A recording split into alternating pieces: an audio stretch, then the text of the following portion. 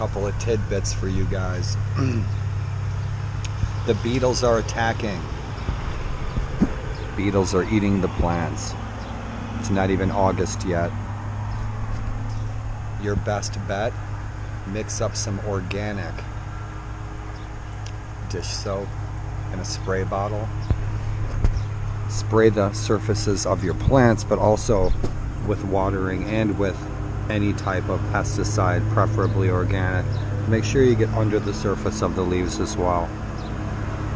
Second tidbit if you're a lawn care operator, don't ever fire up your mowers at between 6.30 and a quarter till 7 in the morning at an old folks retirement home that's professional suicide mowing june july and august you guys should be mowing your lawns at four inches okay up here in this region where we have northern cool season grasses now if you remember last year some of you guys might be saying well daryl i thought you said all that grass was going to die from the heat stress but it looks just fine the grass did die from the heat stress.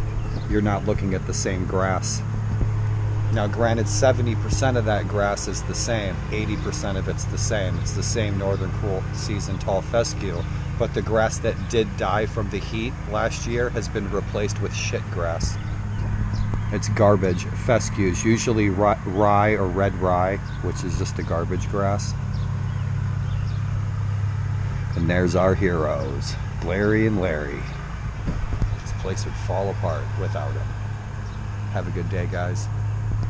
Your turf, you guys, the high the hotter the temperature, the higher the temperature, the higher you should be mowing your lawn. The cooler the temperatures, you can lower that mowing height down to three inches. If you've got a bluegrass lawn and you're on top of it every five to seven days, you can mow it at two and a half, three in cooler temperatures. If there's one thing I'm an expert in, it is specifically turf grass ecology and turf grass horticulture. If you guys have any questions, please feel free to ask. And if I can't remember off the top of my head, I can find out in two seconds in my vast green library. What else, guys? Water in the morning. Water your plants in the morning. If you water late in the day, you water late in the afternoon, you're increasing the chances of your plants and your lawns getting fungus and diseases like red thread and brown patch, slime mold. We actually have something called slime mold. So, also, this grass is wet. These guys should not be mowing the grass when it's wet. Nobody should be mowing grass when it's wet. Why? when you mow grass when it's wet, you do not get a sharp cut on the edge, the top of the blade. That's why you see lawns like that with a brown hue on top of it. Okay? Because the edges, the tops of the grass plants are not cut sharp because the grass was wet. The grass is dewy. Mow your lawns when it's dry. Then your lawn will have a greener color. You won't have that damaged brown top of your grass plant that leaves that brown hue thatch. Most people think that they have a thatch problem because you see a little bit of you, what you think is dead leaves in there. Okay, grass leaves, grass plant leaves, monocot leaves from those grass plants. And that's mostly tall fescue. That's about 90%. Five different varieties of tall fescue in that grass.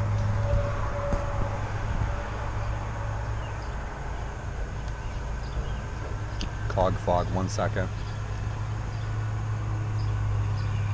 Most people think thatch. Most people think they have a thatch problem. You don't have a thatch problem. We don't dethatch anymore. A hundred years ago, people dethatched. They thought that they had thatch problems. We don't have thatch problems. You cannot visibly see thatch. Thatch is at the surface of the soil and below the surface of the soil. It is not above the surface of the soil. You can't see it. Okay? What do we then? Why do they sell dethatchers? They, those secret lawn care people.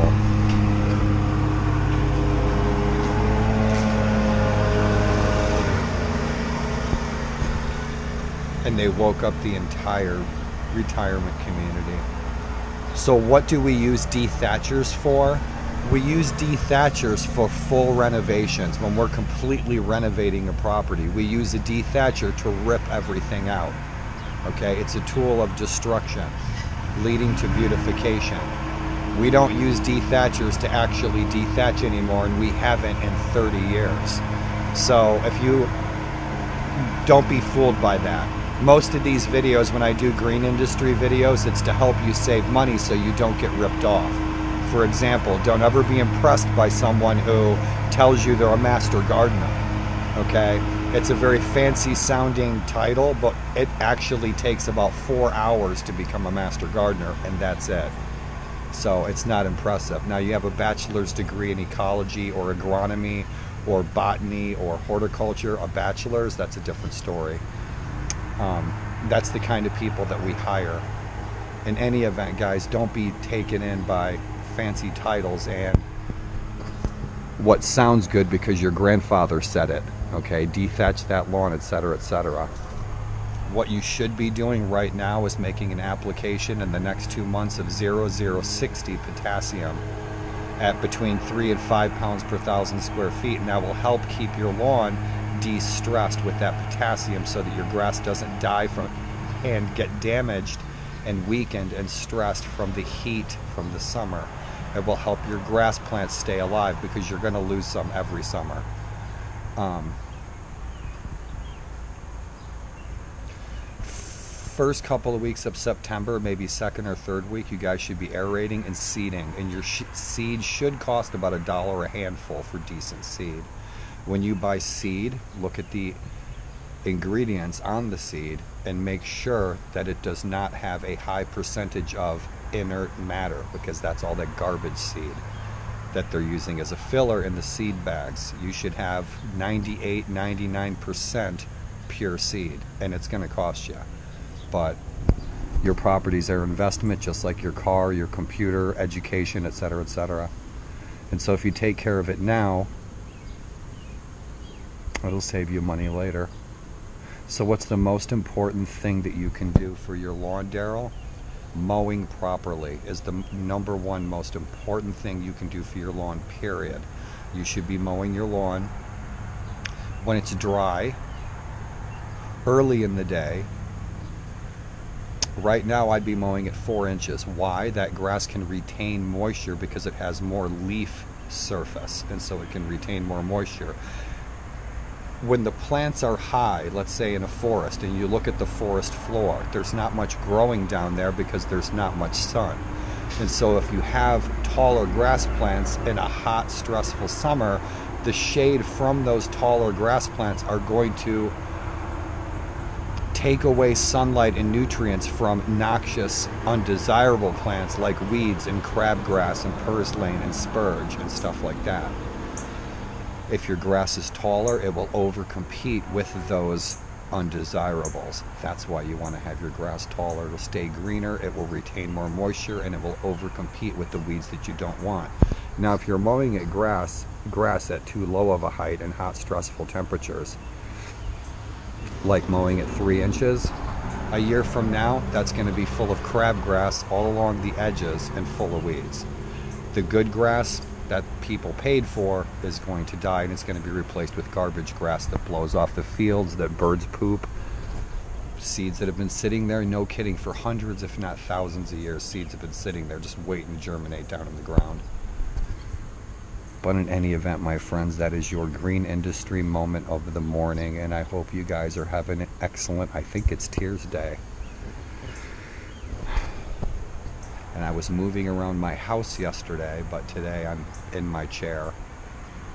You get up, you, the light switch almost goes off on your legs, so you get in your chair. Yesterday I was moving around the house pretty good. In any event, you guys, it's a pretty decent, humid day. It's really early because these guys dropped their freaking ramp at like 6.30 and woke up the entire neighborhood. I used to tell my guys, give them some money, send them down to the breakfast burrito place where they can get a $1 breakfast burrito at the Roach Coach and have them hang out and eat breakfast burritos on your dime until 7.30, 8 o'clock. That's the right thing to do. You wake people up, you piss them off. You lose clients. In any event, you guys, I hope you guys are having a happy, healthy, and successful day wherever you may roam. We're getting there. That's all for the BLTs. Have fun, guys.